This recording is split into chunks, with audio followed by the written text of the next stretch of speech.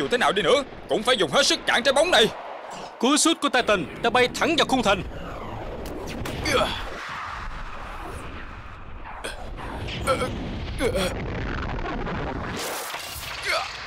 Thật tuyệt vời Titan đã ghi một bàn cho đội chân trần Vào trước khi hết giờ 3 tháng 2 Đội chân trần thắng đội bò cạp tiến vào top 8 Cố lên, cố lên! Cố lên đi chân trần ơi Các bạn hay quá bạn. ơi Hay quá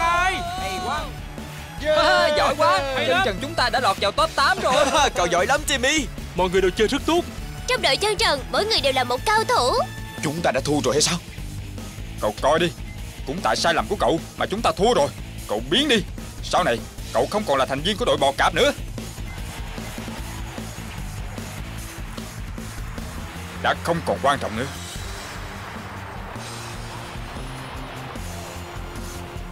Timmy Tôi đã phản bội cậu và chân trần. Nhưng cậu vẫn quý tình bạn của chúng ta. Chỉ với cú sút dài lúc nãy của Titan Còn có lời bên vực lúc nghỉ giải lao mà cậu nói Thì tôi đã biết Cậu là người bạn tốt nhất cả đời của tôi. Trải qua nhiều thử thách thì mới có thể chứng minh được tình bạn chân chính. Từ giờ cú sút tuần hạm này chính là chứng minh cho tình bạn của chúng ta.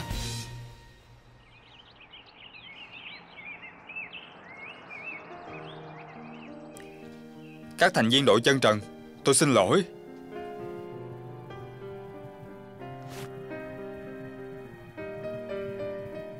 Chúng tôi sẽ không coi cậu là bạn tốt nữa. cậu đừng có xin lỗi bọn này nữa. Chúng tôi tha thứ cho cậu rồi. Sau này cậu sẽ trở thành một người bạn chân chính của đội chân trận Sau đây là tin tức vừa cập nhật vào bóng đá của thế giới Gần đây có rất nhiều cầu thủ nổi bật được chú ý tới Điển hình là Eiffel của đội Tricker, Người đã giúp đội này lọt vào top 16 giải nước Anh Và Carr của đội bóng Parkat. Người đã giúp Pacas giành vị trí số 1 trong giải vô địch Tây Ban Nha Đều đã quyết định giải nghệ trước tuổi hưu Nguyên nhân là bị lão quá nhanh Chúng tôi sẽ cập nhật chi tiết vào những bản tin thể thao tiếp theo của chương trình chúng tôi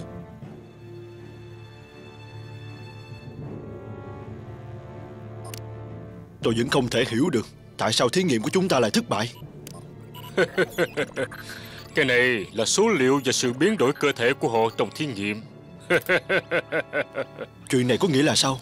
Huyết thanh động năng mà chúng ta đã tiêm vào cơ thể của họ vẫn còn chưa đủ mạnh đâu Cho nên không thể đem cầu thủ CCO mà chúng ta sáng tạo Tiến hóa thành cầu thủ bóng đá CCO đời cuối cùng Dạ, nhưng mà làm thế nào để có thể khiến cho họ tiến hóa đây? Coleman chính là bản báo cáo mà Coleman đem đi lúc bỏ trốn Tôi hiểu rồi. Biến chúng tôi trở lại như trước đi được không Chúng tôi rất đau đớn Đừng có la nữa. Các người chẳng qua không chỉ là công cụ thí nghiệm thôi. Các người đã tự nguyện thí nghiệm mà. Các người cũng đã hưởng thụ được sự vinh quang lúc thành công, thì cũng phải chấp nhận cái giá thất bại chứ.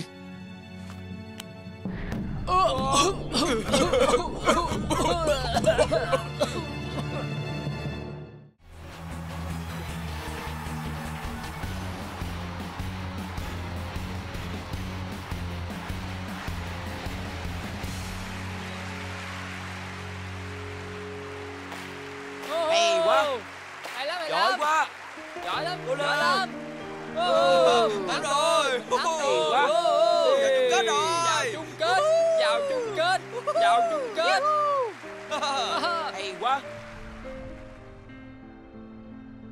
Thật lợi hại.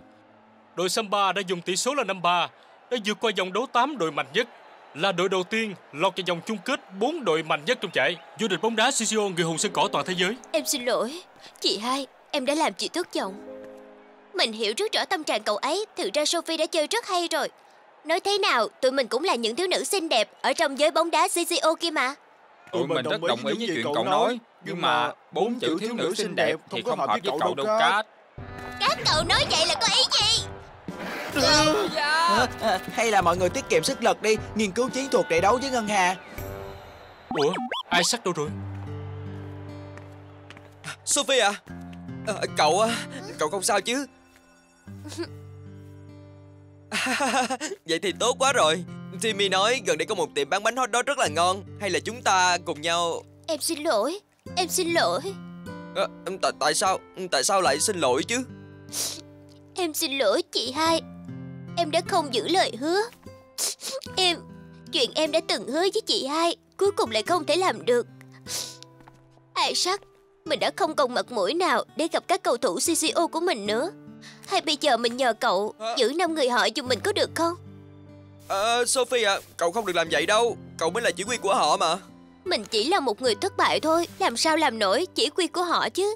Tại sao cậu lại nói như vậy chứ? Với chúng ta mà nói thì cầu thủ GGO cũng giống như là thanh kiếm và kiếm khách. Có câu còn kiếm còn người Kiếm mất người mất mà. Cái gì? Cậu nói gì vậy Ý của mình, tức là cầu thủ GGO không phải là đồ chơi. Không phải chơi xong thì không cần nữa. Có thể đưa cho người khác chơi tiếp, Cậu có hiểu không? Không phải, là cậu không hiểu thôi. Kỹ thuật chơi bóng đá CCO của chị mình vô cùng lợi hại, Nhưng mà mình lại không bằng một nửa của chị ấy. Bây giờ mình làm sao dám nhìn mặt chị ấy chứ? Sút bóng đi, Beast.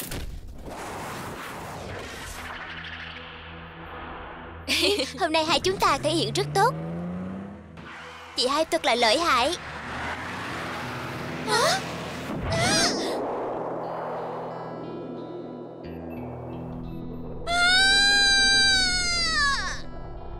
Chị hai!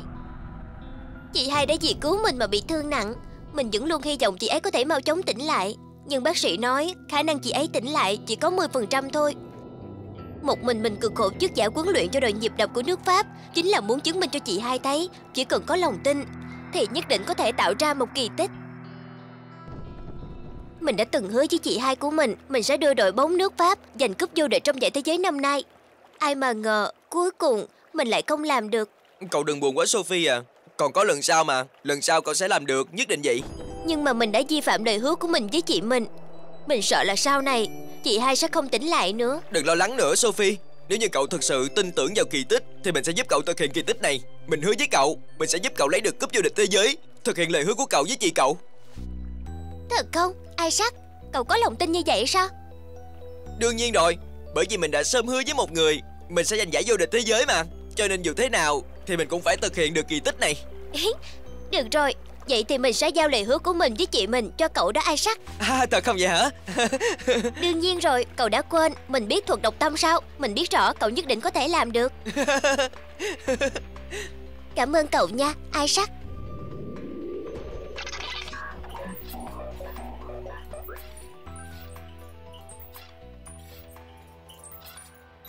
Chủ nhà của giải vô địch năm nay Đội ngân hà của nước Đức Ở trong vòng thi đấu bảng Toàn thắng 3 trận, Ghi được 12 bàn mà không sút một cú nào hết Trong vòng đấu 16 đội thì thắng đội Pratia với tỷ số là 4-1 là một đội bóng có khả năng phòng thủ và tấn công mạnh ở trong số 8 đội mạnh nhất.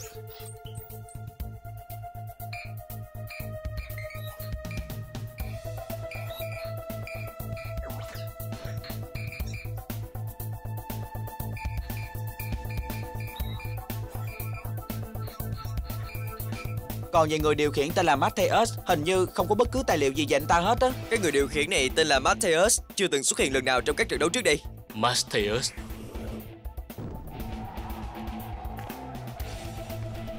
Sao à Tôi rất vui khi có một trận đấu thú vị như vậy với hai người. Cậu đúng là một đối thủ vô cùng đáng nể. Tôi cũng cảm thấy vậy. Hẹn gặp lại nhau trong giải vô địch thế giới.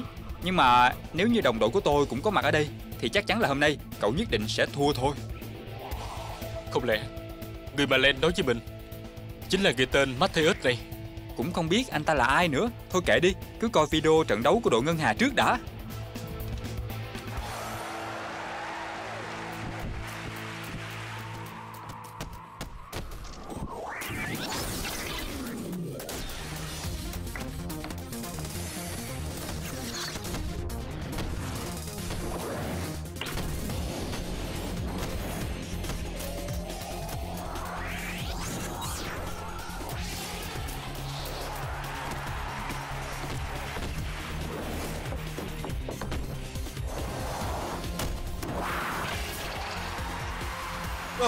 Họ thật sự rất lợi hại. Hậu vệ sút bóng mà chính xác như vậy. Đúng đó, cầu thủ nước Đức sút bóng Dùng sức như vậy sao? Đội hình trong clip gọi thế trận trung tâm ngân hà. Trong lúc họ dồn đối thủ về phía khu cấm địa Thì sẽ biến thành một cái dù nhảy đảo ngược. Sư phụ, nghe nói là lúc trước Cậu từng giao đấu hữu nghị với Len ở nước Đức Còn là một trận qua Lần này tái chiến với Len Cậu có nắm chắc phần thắng không vậy? Đúng vậy sao à Với kinh nghiệm lần trước của cậu Thì cậu muốn bố trí trận thi đấu này như thế nào vậy hả? Lúc trước khi thi đấu với Len Thì họ không sử dụng thế trận như vậy Đội ngân hà đã thay đổi thế trận. Có phải là có liên quan tới người tên Mateus này hay không?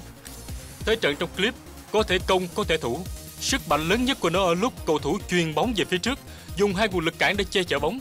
Vậy thì phòng thủ ngăn cản không có tác dụng gì. Trước mắt mình còn chưa nghĩ ra biện pháp để phá giải. Hả? Cả sao cũng chưa nghĩ ra sao? Quả thật thế trận này vô cùng lợi hại.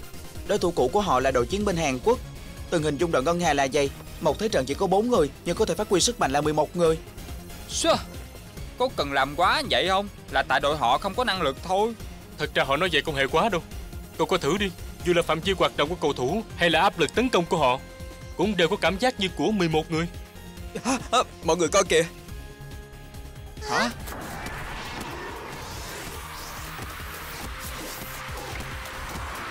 Lần nào cũng là Cosmos áo số 10 Chạy ở trong phạm vi trung tâm. Isaac Ý của cậu tức là Chỉ cần chúng ta cử người hạn chế phạm vi hoạt động của Cosmos Làm vậy Thì thế trận trung tâm ngân hàng nước Đức Có thể không đánh mà tự thua. Và người thực hiện trách nhiệm quan trọng trong kế hoạch này chính là Titan. Tại sao vậy chứ? Dựa theo ưu thế về mặt phòng thủ Thì Titan là cầu thủ giỏi nhất của đội chúng ta. Ừ. Cho nên để Titan của Timmy chịu trách nhiệm quan trọng lần này Chính là một quyết định chính xác nhất rồi còn gì. Ừ, Đã hiểu. Ừ. Timmy đâu? Ờ cậu nhắc mới nhớ Hình như nãy giờ không thấy cậu ấy đâu hết trơn Thân hình của cậu ấy bự tới như vậy Mà chúng ta lại không phát hiện. Chứ còn gì nữa, Cậu coi có phải ca đã làm như vậy mất mặt lắm hay không hả? Đúng vậy đó. Tự nhiên tôi cảm thấy có sát khí. Lát nữa tôi gọi lại nha. Tìm mình sao? Lầm hay không vậy hả? Mọi người đang lo lắng bàn bạc chuyên thuật ở đây Mà cậu lại đi nói chuyện điện thoại. Đây là gọi điện thoại đường dài đó Vô cùng quan trọng luôn. Điện thoại đường dài quan trọng cái gì? Tại sao lại nhắc tới tên của mình hả? À, Được rồi được rồi. Lúc nãy nói trận đấu tiếp theo sẽ có một nhiệm vụ giao cho Titan. Cái cậu thật là có mắt nha. Tuyệt đối không thành vấn đề đâu. Trận đấu với lại đội bóng nước Đức Cứ để cho Timmy lo hết cho.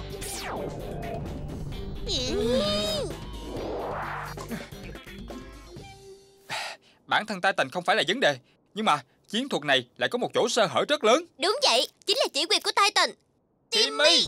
Từ khi kết thúc trận đấu với đội bò cạp của Bồ Đào Nha tới giờ Thì cậu cứ ôm khư khư cái điện thoại suốt ngày à Mà đối tượng nói chuyện Chính là người đã thi đấu với mình. Và đã quay về Bồ Đào Nha.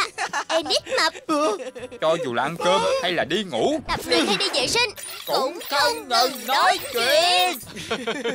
Nè Vì tình bạn của mình với lại Enid Đang ở trong giai đoạn manh nha trở lại Sau một cơn giông bão. Cậu ấy đang gọi điện thoại từ Bồ Đào Nha tới đây cho mình đó Để giới thiệu cho mình biết Ở Đức có tiệm bánh hot dog nào ngon Chứng minh cho tình bạn của tụi mình Còn quý giá hơn cả hot dog nữa. Mình mặc kệ cậu thích cậu ta hay là thích hot dog Nhưng cậu đang làm ảnh hưởng tới toàn đội của chúng ta hiểu chưa?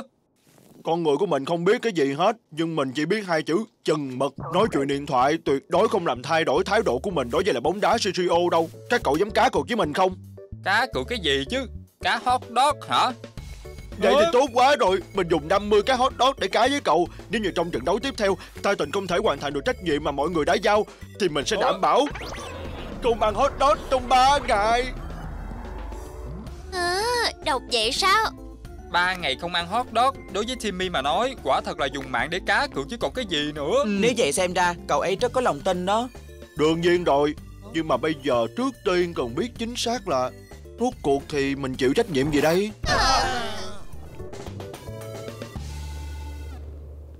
hôm nay mình sẽ dắt các cậu tới một nhà hàng nổi tiếng. Trước tiên mình coi nó ở chỗ nào đã. Xin chào cậu so. Phòng sa đại học của học viện âm nhạc Vin gửi cho cậu một bức thư.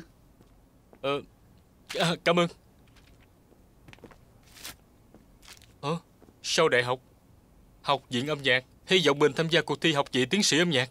Wow, tiến sĩ, thật không? Sao ạ, à? cậu giỏi thật đó. 14 tuổi cũng có thể thi vào học viện tiến sĩ hả? Đúng là lợi hại.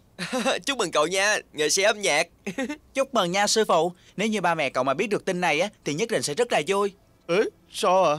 Tại sao mình thấy tụi mình còn hứng hở hơn cậu nữa? Mình cảm thấy hơi quá nhanh Bởi vì dựa theo kế hoạch của bản thân Thì tới khi mình tròn 18 tuổi Mới có thể đi thi học vị tiến sĩ của viên Nhưng không ngờ họ đề cử mình nhanh như vậy Thực ra thì cậu không cần phải lo lắng như vậy đâu so Đàn dương cầm chính là thế mạnh của cậu kia mà. Ấy đề thi đưa ra chính là bản sonat thứ 9 mà nhà soạn nhạc mua sạch Ngày thi chính là ngày mốt. Hả? Thi bóng đá xong thì phải đi thi âm nhạc rồi. Ồ, sao à? Vậy cậu lo lắng không thể chia ra luyện tập Vừa lo cho trận bóng đá CCO Vừa phải lo thi học vị hả? Không phải lúc nãy chúng ta vừa mới nghĩ ra Cách phá hủy đội hình của nước Đức hả? Không sao đâu so. Yên tâm đi mà Tụi mình có thể giải quyết trận đấu này mà. Không sao. Sao à Cậu cứ tập trung đi thi âm nhạc đi Trận bóng đá CCO này Cứ để cho tụi mình lo hết cho. Sáu người chúng ta chung lòng Cũng giống như là cậu và Isaac cùng tham gia thi đấu vậy. Một công một thủ Vậy thì gọi là hoàn mỹ rồi. Timmy Ừ, Này mình nói gì sai sao? Được đó, nói rất hay. Cậu đúng là vua của khỉ. Hả? Quen cậu lâu như vậy rồi Hôm nay mới nghe cậu nói một câu hay ho